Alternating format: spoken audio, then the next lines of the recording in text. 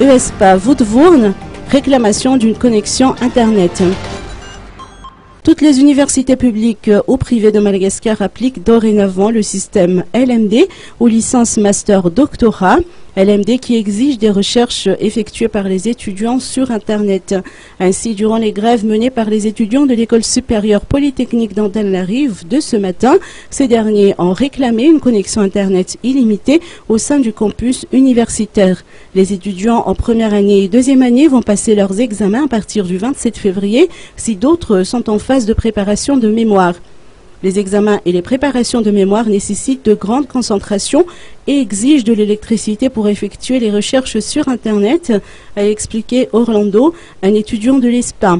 La coupure en électricité est un problème que les étudiants ne peuvent plus endurer, ce qui a provoqué cette grève. Côté sécurité et organisationnel, les étudiants se plaignent que le campus universitaire soit devenu un lieu public, accessible à tous, même aux charrues.